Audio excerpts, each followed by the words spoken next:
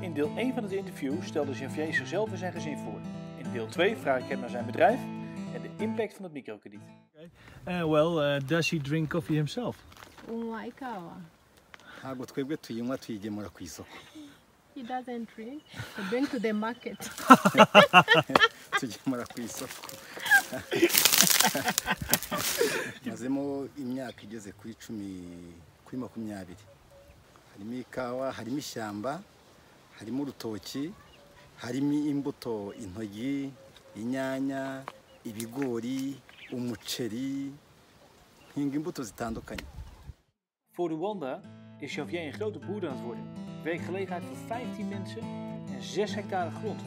Wat is zijn succes? mbere ni iteganyamigambi kugira ngo ngere ku ntego z'ibyo ntekereza ndagerageza ikindi eh, nsaba amahugurwa minsi ishize twari mu mahugurwa hamwe n'umushinga witwa pesidag mm. abo bose ni abajyanama bagenda batugira inama mu bijyanye n'ubuhinzi mm. eh. Janvier blijft zichzelf uitdagen. In 2020 wil hij een auto en generator hebben gekocht. Hoe heeft microfinanciering hem tot nu toe geholpen? Nayikoresheje mu buhinzi. Naguzemo imirima nongereye ubuso bw'ubutaka. Umwaka utaha 2018. Hoe ga je aan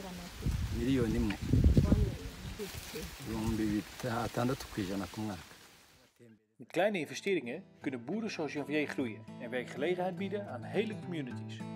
Het idee echter Pure Africa? Wij drinken lekkere koffie en samen investeren we in boeren zoals Javier.